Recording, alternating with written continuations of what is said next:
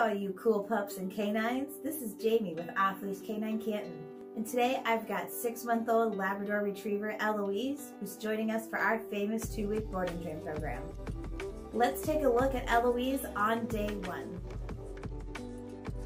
So here's Eloise on day one, just after pickup. And right off the bat, we can see her biggest issue right now is jumping. She's still a puppy, and so she has a lot of those puppy tendencies.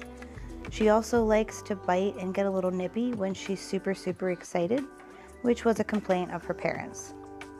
Now, they did start her on some basic commands sit and down, which, as you can see here, I can get a sit, but she doesn't want to follow through with that down for me. One of the other big complaints from Eloise's parents is that she doesn't have any recall. And when they have her off leash at home, they are worried about the fact that she will not come back. So we're going to button up those manners, teach her to be consistent with her commands, and definitely work on that off leash recall so that her parents can enjoy her off leash at their property and not have to worry about her not coming back. So that was Eloise on day one. I'm really looking forward to showing you all the progress that we were able to make in just a short 14 days. So let's get right to those after videos.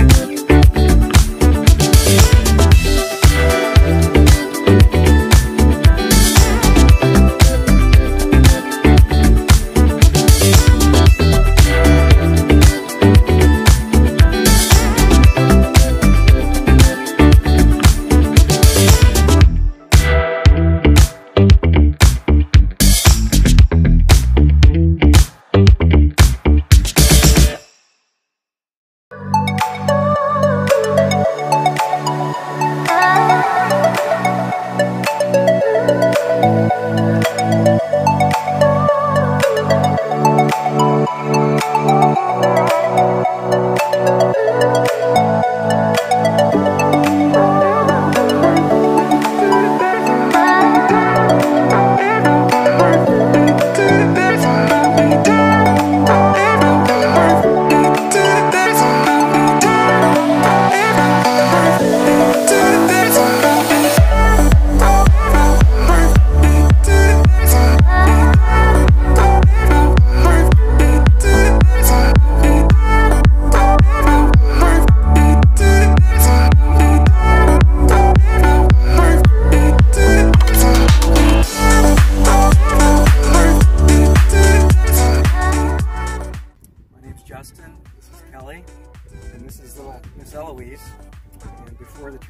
she was an absolute terror. She would bark and run around and chew shoes and everything she could get her mouth on.